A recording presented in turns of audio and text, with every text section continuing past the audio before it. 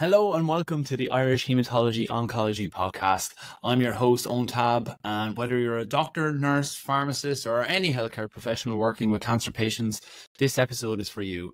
And this episode is coming a little later this week due to some gremlins in the recording software, but we'll hopefully be back on track from next week. And today we're diving deep into common but potentially devastating complications of cancer treatment, febrile neutropenia, chemotherapy induced thrombocytopenia, and chemotherapy induced anemia.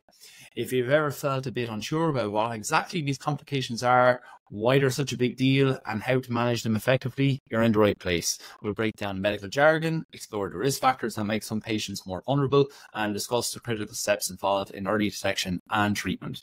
So, whether you're new to oncology or just want a refresher on the fundamentals, this episode will equip you with the knowledge you need to provide the best possible care for your patients facing, facing these challenging conditions. So, guys, grab a cup of coffee, get comfortable, and let's um, tackle these complications together. So, segment one, let's go into understanding the basics. This dissecting that intimidating term, febrile neutropenia. Well, the febrile part is straightforward. It means fever. But neutropenia is where things get a bit more complex. Think of your immune system as a well organized army with different types of cells acting as specialized units. Neutrophils are like the frontline infantry, the first responders who rush to the scene of a bacterial or fungal invasion. They're essential for initiating the inflammatory response that helps contain and eliminate these threats. Neutropenia occurs when the number of neutrophils in your blood drops significantly below normal. This leaves your body vulnerable, like a fortress with its gates wide open. Now, why is this especially dangerous for cancer patients? Well, chemotherapy, while a powerful weapon against cancer, often comes with collateral damage. Many chemotherapy drugs suppress the bone marrow where blood cells, including neutrophils, are produced. To quantify this suppression, we use the absolute neutrophil count, or ANC. The reference range for bloods in Ireland is counted as the number of cells by 10 to the power of 9 per litre. In the USA, it's calculated as the number of cells per microliter. Basically, the Irish reference by a thousand. So you'll hear in the thousands in the USA. So be careful when looking at protocols from elsewhere with differing reference values. For simplicity today, I'll use the Irish range without saying 10 by to the power of 9 cells per litre each time. All right, okay, so getting that out of the way, a healthy person usually has an ANC of greater than 1.5. When it dip, dips below 0.5, we enter the danger zone of severe neutropenia. At this point, even a minor infection can quickly escalate into a life threatening situation. Here's where the febrile part comes in. In patients with neutropenia, fever may be the only sign of a serious infection brewing. The usual signs of inflammation, like redness, swelling, and pus, might be absent due to a lack of neutrophils. This makes febrile neutropenia a silent threat requiring heightened vigilance from healthcare providers. Let's put this into perspective with some numbers. So, the ESMO guidelines, which a lot of this podcast today has been developed from, note that febrile neutropenia, while affecting around 1% of patients receiving chemotherapy, carries a significant risk of morbidity, 20 to 30%, and mortality, 10%. That means for every 100 patients undergoing chemotherapy, roughly one will develop febrile neutropenia, and of those, a significant number will experience complications or even succumb to the infection. So imagine a patient named Sarah. She's a 55 year old woman undergoing chemotherapy for breast cancer. She develops a low grade fever a few days after her treatment. In a healthy person, this might not be a major concern. But for Sarah, with her suppressed immune system, it's a red flag Without enough neutrophils to mount a strong defense, even a seemingly minor infection could quickly escalate into sepsis. So, to recap this intro section, febrile equals fever. Neutropenia equals a low neut- neutrophil count, especially uh, ANC below 0.5. And febrile neutropenia is a fever in a patient with a low neutrophil count, often indicating a serious infection. This combination, especially in a cancer patient undergoing chemotherapy, is a medical emergency. Early recognition and prompt treatment are crucial to prevent complications and save lives. So now we'll go on to the, risk factors. So now that we understand the basics, let's delve into the factors that increase a patient's risk of developing febrile neutropenia. It's not a one size fits all scenario. Different patients face different risk levels. Think of it like a house's vulnerability to fire. Some houses are built with fire resistant materials, while others are made of wood and have faulty wiring. So let's look at the cancer type and stage. Just as certain building materials are more flammable, some cancers inherently pose a higher risk of febrile neutropenia. Blood cancers like leukemia, lymphoma, and multiple myeloma are prime examples. These cancers directly attack, attack the bone marrow, the very place responsible for producing neutrophils. It's like having a fire break out in the fire station. Your defenses are compromised from the very start. Additionally, the stage of the cancer matters. Advanced stages often mean more extensive disease and a greater likelihood of bone marrow involvement, further increasing that risk. And the chemotherapy regimen as well. Chemotherapy drugs are powerful tools, but they can also be indiscriminate, not only targeting the cancer, but also damaging the surrounding area. Some chemotherapy regimens are more toxic to the bone marrow than others. The specific drugs used, their dosages, and the frequency of administration all contribute to the risk profile. The intensity of the treatment impacts the extent of the damage. And then there are patient specific factors. So, just as some houses are better equipped to withstand a fire, some patients are more resilient than others. Age is a significant factor, as older patients tend to have less robust bone marrow function. Other medical conditions like diabetes, kidney disease, or liver disease can also weaken the immune system, making it harder to fight off infections. Additionally, patients who have recently undergone extensive surgery or radiation therapy to areas containing bone marrow may have impaired neutrophil production. And the neutropenic nadir, so that this is the period following chemotherapy where the neutrophil counts are at their lowest, or also known as the nadir. It is the riskiest time for developing febrile neutropenia. This typically occurs about a week to 10 days after treatment. Oncologists and hematologists use various risk assessment tools to predict when patients are most likely to develop febrile neutropenia. The Multinational Association for Supportive Care in Cancer, or MASCC, M-A-S-C-C, index, for example, is a prognostic tool that considers factors like age, the presence of other medical conditions, and the severity of illness to estimate the risk of complications in patients with febrile neutropenia. As healthcare professionals, it's crucial to be aware of these risk factors. By identify, identifying patients who are more vulnerable, we can implement preventive measures and be prepared to act swiftly if febrile neutropenia occurs.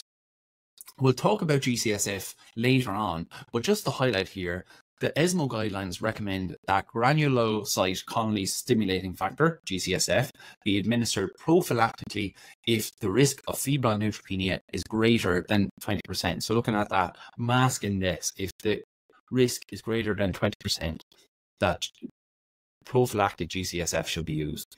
For patients with an intermediate risk, 10 to 20%, it's also important to consider the patient's age and any coexisting morbidities. So, by understanding the risk factors and taking appropriate precautions, we can help protect our patients from the potentially devastating consequences of febrile neutropenia. It's like equipping our houses with smoke detectors, fire extinguishers, and an escape plan. We're prepared for the worst, but we hope for the best. So we're going to take a little break here now before we go back into segment three, looking at early detection and action. Okay, so welcome back. Now that we know who's at risk, let's talk about the importance of early detection and rapid response. In febrile neutropenia, time is not just a factor, it's a critical determinant of patient outcomes. Think of it like a wildfire. The sooner you spot the first spark, the easier it is to contain delay can be disastrous. So, fever, this is the body's smoke alarm. For cancer patients undergoing chemotherapy, a fever isn't just a minor inconvenience, it's a blaring alarm bell signaling a potential emergency. Remember, their immune systems are often compromised, so fever could mean a serious infection is brewing, even if other typical signs of infection are absent. The importance of patient education, right? So, this is where patient edu- education becomes paramount. Healthcare professionals need to empower patients with the knowledge to recognize the signs of febrile neutropenia and the importance of seeking immediate medical attention. A simple conversation can make all the difference. And then a rapid response by our healthcare professionals. Most oncology centres have well defined protocols for managing febrile neutropenia. These protocols are designed to ensure a swift and coordinated response, much like a well drilled emergency team responding to a crisis. The first step is a thorough assessment of the patient's vital signs, symptoms, and medical history. This is followed by blood tests to check uh, neutrophil, count, neutrophil count, ANC, and other markers of infection. Blood cultures are also taken to identify the specific culprit, the bacteria or fungus responsible for the infection. The ESMO guidelines emphasize the importance of prompt antibiotic administration, stating that the first administration of therapy should be given in the hospital within one hour from the admission of a patient with febrile neutropenia. Delay in antibiotic administration has been associated with significant prolongation of the hospital stay and increase mortality. So let's build on from here and look at the treatment st- strategies. It is a multifaceted approach. So let's look at those strategies that we employ to combat febrile neutropenia. It not only involves fighting the infection, but also supporting the patient's immune system recovery. Think of it like a multi pronged attack plan where we deploy different weapons to tackle the problem from all angles. So, antibiotics, these are the frontline warriors. They're the first line of defense against the bacterial infections that often accompany febrile neutropenia. The initial choice of antibiotic is crucial as we need to cover a broad spectrum of potential pathogens while waiting for cultures to results to pinpoint the exact culprit. It's like sending in a SWAT team to the security area before the detectives arrive to investigate. So, commonly used broad spectrum antibiotics for febrile neutropenia include piperacillin tazobactam, PIP-TAZ, carbapenem, such as meropenem, and cephalosporins like ceftazidime. These antibiotics are like heavy artillery designed to take out a wide range of bacterial threats. Once the culture results are available, the antibiotic regimen can be tailored to target the specific bacteria um, identified. This is like switching from a shotgun to a sniper rifle. We can focus our firepower on this specific enemy. And then you have GCSF. So this is calling in the reinforcements, right?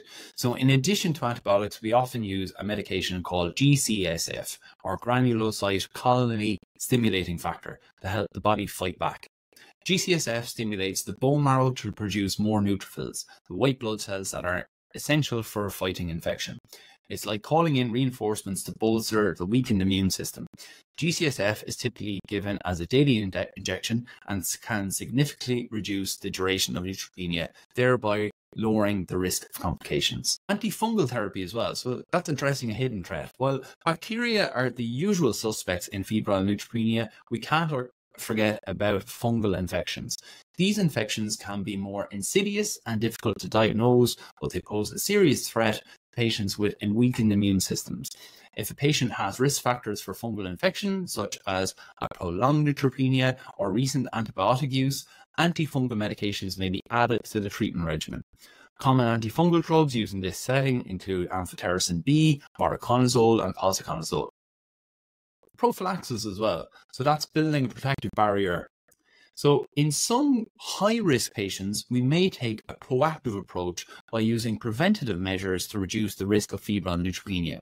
This is like building a fortress wall to keep the enemy at bay. Prophylactic GCSF can be administered around 24 hours after chemotherapy to stimulate neutrophil production and reduce the likelihood of severe neutropenia. The ESMO guideline states that several meta-analyses indicate that primary prophylaxis with GCSF, i.e., GCSF administered immediately after cycle one of chemotherapy, reduces the risk of febrile neutropenia by at least 50% in patients with solid tumours without significantly affecting tumour response or overall survival. GCSF can come in its non-pegylated form or a pegylated form. Pegylated form is a once-off dose, whereas the non-pegylated form is that daily dosing, as I said earlier on. In some cases, prophylactic antibiotics may also be used, especially in patients with a history of recurrent infections. However, the use of prophylactic antibiotics is controversial and should be carefully considered on a case by case basis due to the risk of antibiotic resistance. So now we've finished off and we've dealt with febrile neutropenia, but there are other complications as well. While febrile neutropenia is a major concern, it's not the only hematological um, complication that cancer patients can face. Chemotherapy can also lead to thrombocytopenia and anemia, both of which require careful management. Let's take a closer look at these conditions. Thrombocytopenia, when platelets plunge. It's a condition characterized by a low platelet count. Platelets are tiny blood cells that play a cru- crucial role in clotting. When platelet levels drop, patients become more susceptible to bleeding, even from minor injuries. Chemotherapy induced thrombocytopenia, or CIT, is a common side effect of cancer treatment. It occurs when chemotherapy drugs damage the bone marrow, where platelets are produced. This can lead to a decrease in platelet production and a subsequent drop in platelet count. The NCCN guidelines define CIT as a platelet count below 100 that persists for more than three to four weeks after the last chemotherapy administration or um, or that causes delays in chemotherapy initiation. Managing CIT involves a delicate balancing act. On one hand, we need to prevent and manage bleeding complications. On the other hand, we want to avoid unnecessary interventions that could delay or disrupt cancer treatments. Platelet transfusions are often used to temporarily increase platelet levels in patients with severe thrombocytopenia or active bleeding. However, transfusions come with their own risks, such as infection, or allergic reactions. In some cases, medications called thrombopoietin receptor agonists or TPORAs may be used to uh, stimulate platelet production. So, romiplostim is one such medication that has shown promise in managing CIT. However, the use of TPORAs for CIT is still under investigation and will need to be licensed before use for CIT. But just looking at the future. Then you have anemia. Anemia is the oxygen drain. Anemia is a condition characterized by a low red blood cell count or a low level of hemoglobin, which is the protein in red blood cells that carries oxygen. This can lead to fatigue, shortness of breath, and other symptoms that can significantly impact a patient's quality of life. Chemotherapy induced anemia, or CIA, is another common side effect of cancer treatment. It occurs when chemotherapy drugs damage the bone marrow, leading to a decrease in red blood cell production. So, um, managing this anemia involves a multifaceted approach that aims to alleviate symptoms, improve quality of life, and maintain the patient's ability to tolerate cancer treatment. Red blood cell transfusions are often used to quickly increase hemoglobin levels in patients with severe anemia or symptomatic anemia. However, similarly to platelet transfusions, these come with risks and should be used judiciously. Medications called, uh, called erythropoiesis stimulating agents or ESAs can be used to stimulate red blood cell production in some patients with CIA. Epoetin alpha and darbepoetin alpha are two such medications that are approved for this indication. However, ESAs also carry risks, such as risks of blood clots, blood clots, and their use should be carefully considered. Iron supplementation may also be necessary in patients with chemotherapy induced anemia, as iron is essential for red blood cell production. Iron can be given orally or intravenously, depending on the severity of the deficiency and the patient's ability to tolerate oral iron. By addressing both thrombocytopenia and anemia, healthcare professionals can help cancer patients better tolerate their treatment and maintain a good quality, quality of life. It's like ensuring that the body's transportation system is running smoothly, delivering oxygen and clotting factors where they're needed most. Thanks a million, guys, for tuning in to the Irish Hematology Oncology podcast today. I hope this deep dive into febrile neutropenia, thrombocytopenia, and anemia has been informative and helpful for your practice. If you have any questions, comments, or suggestions for future episodes, please don't hesitate to reach out. You can uh, find a link to our feedback form in the show notes below. And don't forget, we've also included an example CPD document in the show notes for the pharmacists out there to complete for your IIOP CPD requirements. Take advantage of this resource um, as it's quite handy and easy for you to submit. Um, if doctors or nurses have any suggestions for me for how I can help them in their CPD development, um, please let me know on that. Um, on that feedback form or reach out, email me on irishhemoncpodcast at gmail.com as well. And finally, I'm excited to announce that the Irish Hematology Oncology podcast um, is now available on um, my YouTube and LinkedIn pages. So along with the video that you can get on Spotify, you can also access it on YouTube and LinkedIn. And that's from feedback that I got from people as to where they access their education from. So you can find the links to those pages in the show notes below. Um, subscribe to those channels to stay up to date on the latest episodes and other valuable content. And again, thanks a million, guys, for everything um, you've said so far, all the kind messages, and thanks to all of you for listening in. As always, I'll end the podcast with this important disclaimer. This podcast is for educational purposes only. Remember, the field of cancer care is always advancing, and new research may lead to changes in treatment approaches or protocols. Always consult with your own team for personalized guidance and discuss any information from this podcast with them. Seek information from local and national resources for the most up to date recommendations. Thanks again, guys, and hopefully we'll be back to normal schedule next week. All right, chat to you. Thanks.